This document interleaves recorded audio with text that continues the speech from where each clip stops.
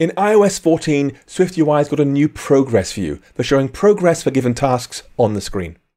This might be determinate, i.e. a progress bar going up the way, or indeterminate, a spinning activity indicator. Let's try it out now. To get a simple spinner, you just say progress view, nothing else. And just doing that one simple thing, you'll get a spinning activity indicator like that one. If you want a label, you can do so. I'll say downloading. And making that change will now say a spinner plus downloading. Slightly more information. For more advanced usages, i.e. an actual bar going up the way, you've got to start by saying what state determines the value of that bar.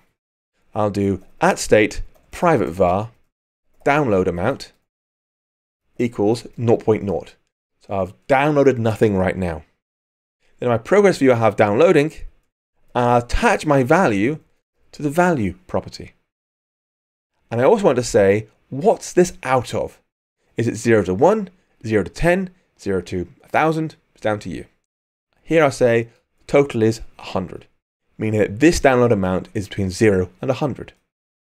And now we can increment that. If you have a VStack here, I can add below the progress view a button, uh, increment download, with the action download amount plus equals 10. So every time it's pressed, increment download amount by 10, 10, 10, and so forth. So if we run that code back, we should be able to make our bar go up by pressing the button. So up, up, up, all the way up like that. Now, uh, be careful, if you go beyond the total, you'll start seeing errors like this one here, being very angry. So you don't want to do that. Otherwise, you have SwiftUI shouting at you do not go beyond the total. Uh, otherwise, you get warnings and the logs and so forth. Clamp your value with some sensible code. For example, you might say, you know, uh, if download amount is less than 100, do that. Otherwise, don't do it. Otherwise, you'll get errors everywhere.